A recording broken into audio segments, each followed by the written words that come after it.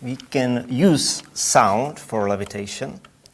So this is our device. Now there is a high frequency to our speakers and we can put it something, we can put something in the middle and it should, and it stayed, stands right there.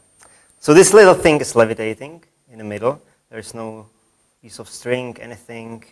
It's just uh, just uh, one piece of styrofoam in the air. And now comes the question, how is it possible? Because this is not really, it's not something what you can find on the streets or on, on the bathroom, for example, I don't know.